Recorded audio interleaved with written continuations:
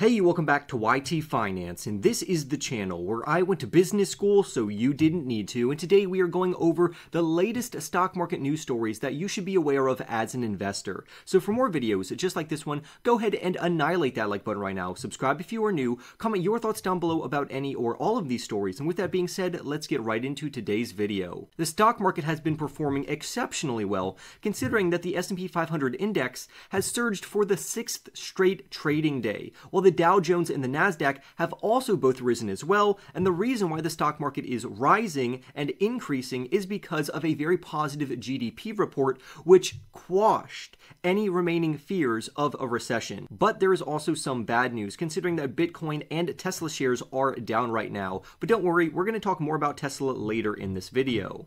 You should also be aware that Paramount Global announced an unspecified amount of layoffs for their business.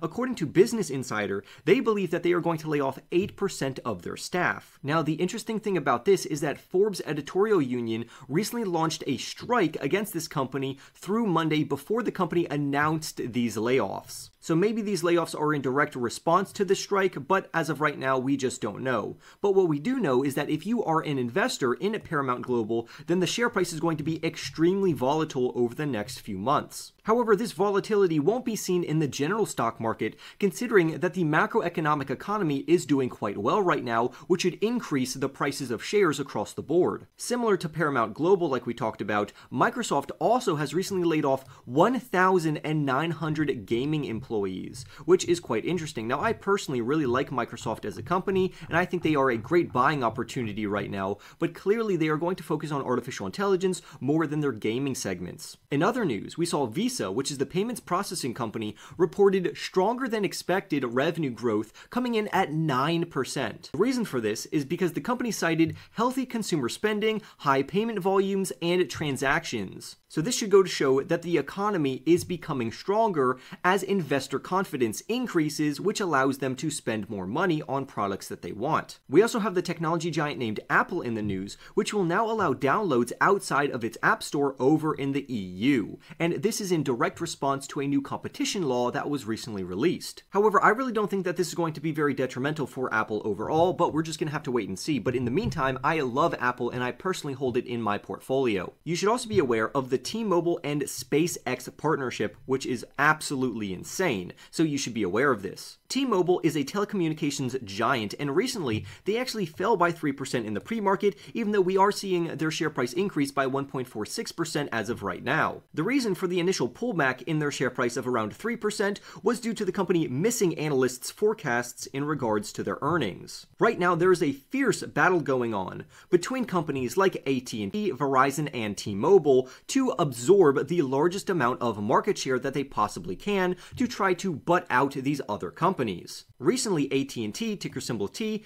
released mixed quarterly results, while Verizon posted better than anticipated results, and T-Mobile results came in mixed as well. T-Mobile is forecasting slower growth throughout the year of 2024, especially when we compare that to their growth rate in 2023. However, that's not the good news. The good news is that they are partnering with Elon Musk's SpaceX company. T-Mobile is going to benefit from the rollout of satellites as a part of its partnership with SpaceX to provide service in rural areas. This should give T-Mobile a very good competitive advantage in regards to their competition when they are going up against companies like AT&T and Verizon. So this partnership between T-Mobile and SpaceX is absolutely phenomenal for this company, and I personally own T-Mobile in my portfolio. More good news for this company is that they still have $16 billion remaining under a prior stock buyback plan, to where T-Mobile repurchased $13.2 billion worth of stock in 2023 and it's extremely good news when we see a company trying to buy back shares, because they believe that the future of this company is so good that they want to buy back shares at their current price, and they still have money left over to continuously do this. That's why I think this company should clearly be on investors' radar, and if you wanted a more full breakdown of their earnings report, you can look here on screen. Their net sales beat expectations, while their adjusted adjusted EPS fell below estimates,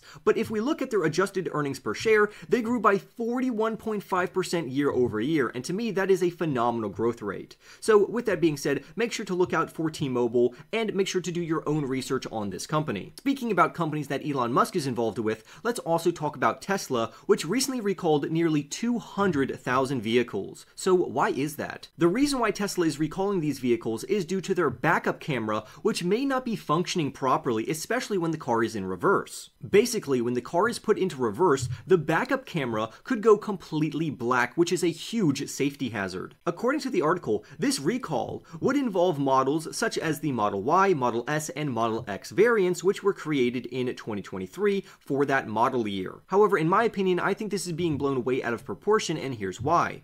Tesla says in documents that it is not aware of any crashes or injuries that have resulted from this malfunction. Also, various documents say that the problem has been fixed with an online software update. So it seems that no injuries occurred due to this and the problem has already been resolved, even though a lot of people want to just push out this headline to scare people regarding Tesla. And lately it seems that we've seen a lot of this considering that investors are liquidating their Tesla holdings, to where Tesla's TSLA shares plunged by 52%. So let's dive in to talk about why that is. Back in 2021, Tesla, which is the electric vehicle and energy storage and generation company, peaked at a share price of $400 to receive a market cap of over 1 trillion, but since then, their share price has plunged downwards by 52%. This was due to various reasons, including economic headwinds, inflation, and lower demand, as well as increasing interest rates. Now, unlike other investors which are scared right now and selling Tesla, I am buying Tesla at this phenomenal price of just $183. This is a huge discount compared to what Tesla was trading at back in 2021 at around $400 per share, so I am taking advantage of this cheaper share price in a phenomenal company. Now, with that being said, the author of the article is correct that Tesla is no longer a startup electric vehicle company, considering now that it sells millions of electric vehicles each year. This also means that the company can't grow as rapidly because it's more difficult for larger companies to grow on a percentage basis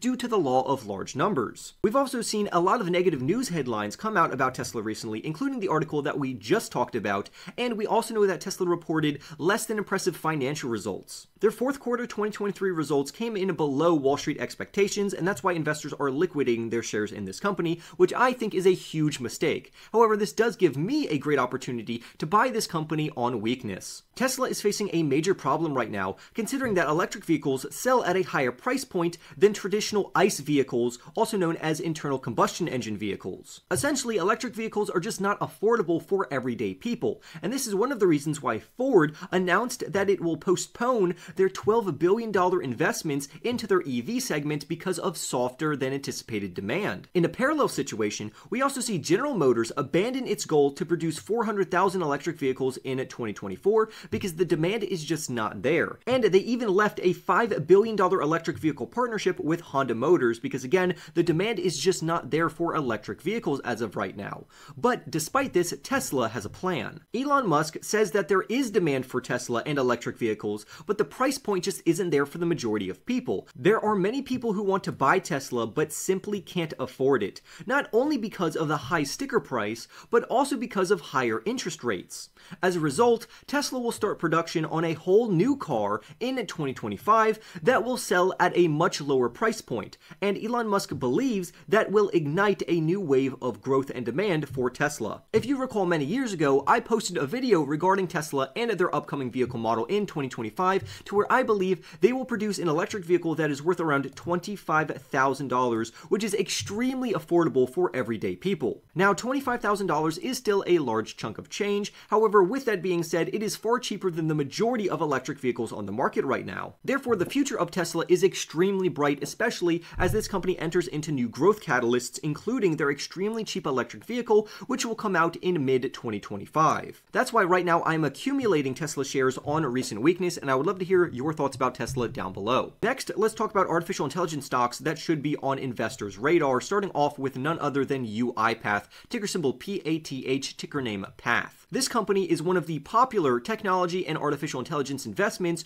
that ARK Invest and Cathie Wood has been investing into. Cathie Wood is an analyst, a CEO, and an investment celebrity, so at minimum, we should pay attention to some of her purchases. But even if you don't like Cathie Wood or ARK Invest, let's just focus on UiPath as a company. UI UiPath specializes in robotic processing automation, also known as RPA. In essence, their software allows users to automate repetitive tasks, and they also combined their technology with existing AI technology to where this company is literally set to dominate this market and have a monopoly over this segment. This company is also set to have explosive growth in the future, so get a load of this. As of right now, UiPath's annual reoccurring revenue rose by 24% up to $1.38 billion in the third quarter of fiscal 2024, ending October 31st. But you may not be impressed with $1.38 billion, but listen to how their market that they are a part of is anticipated to expand rapidly. And remember, they are already a market leader in their respected segment. Recently, Polaris Market Research said that the global RPA opportunity and market, which is exactly the market that UiPath is a part of,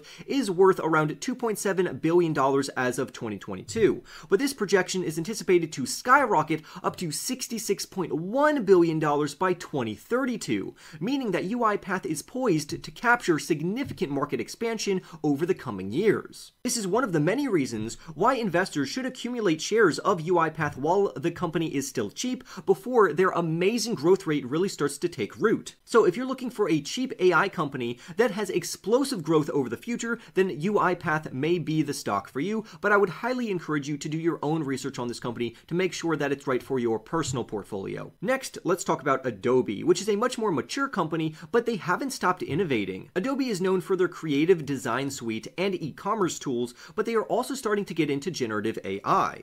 Their most notable product is Adobe Firefly, which generates AI images with just simple text inputs. The company is also growing pretty rapidly, considering the revenue in the fourth quarter of fiscal 2023 ending December 1st grew by 12% year over year up to $5.1 billion, while their earnings per share rose by 29% thanks to share buybacks. We also see smart money, hedge fund managers, money managers, and mutual fund managers buying Adobe. So when prestigious institutions and investors start to buy this company, that means you and I as retail investors really need to be paying attention to this company. And last but not least for AI stocks, let's talk about one of my favorite stocks, which is Meta Platforms, ticker symbol META, ticker name Meta, formerly known as Facebook. Over the last few years, Meta Platforms has been trying to diversify their revenue segments to break away from just advertising because they have a lot of social media sites that they can take advantage of regarding various types of marketing, which would include sites such as Facebook, Instagram, Messenger, WhatsApp, and Threads. But Meta Platforms is also a leader in artificial intelligence, and they are using artificial intelligence to seamlessly translate languages,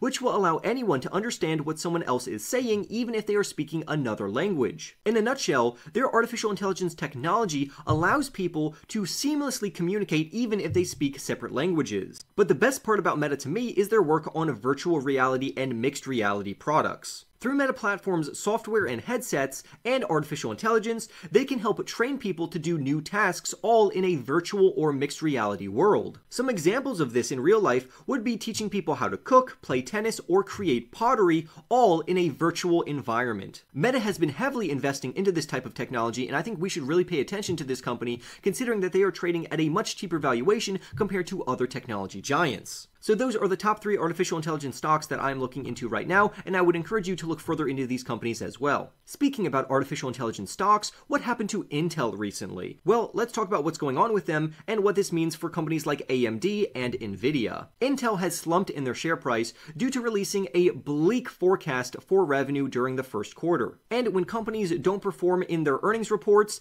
that means the company's share price most likely will also drop. The intriguing thing about this is that analysts say that there is plenty plenty of business to be had over in the chip sector, which is exactly where Intel operates. However, it seems that Intel just can't keep up with the competition from companies like AMD as well as Nvidia, because they are coming late to the AI revolution. But the news gets even worse considering that the chipmaker forecasted current quarter revenue that could fall short of market estimates by more than $2 billion.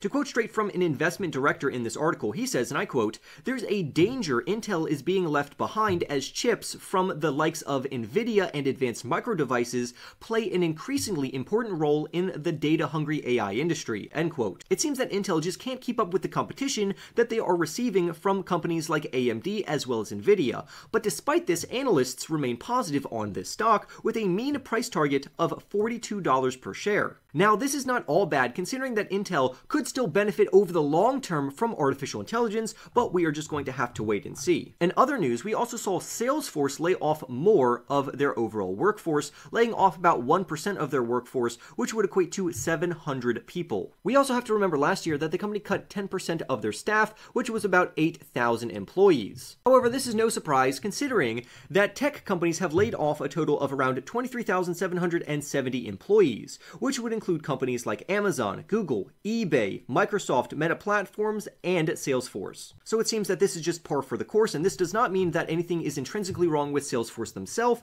it just means that they are cutting employees that are not being very productive. Lastly, let's round out the video talking about the top stocks that you need to pay attention to today, and that would include American Express, which is a payment processing and credit card company which is up more than 1% today in pre-market trading. The reason for the optimism surrounding this company is that the credit card issuer forecasted full year adjusted profit above expectations. The company said it planned to bump up its quarterly dividend by 17%, and this really got investors excited. We also saw Colgate stock being quite volatile ahead of the opening bell after the consumer goods giant reported quarter 4 2023 organic sales growth that topped expectations, so great for Colgate. The company also gave very bullish and positive full year 2024 guidance to where they believe their organic sales will grow within their long term targeted range of 3 to 5%, so again, again, this is rather positive. We also see good news in regards to Coinbase, ticker name Coin. Coinbase is a cryptocurrency exchange, and they recently increased in their share price by around 5% ahead of market open. And this is because Oppenheimer, which is a brokerage institution and a financial institution,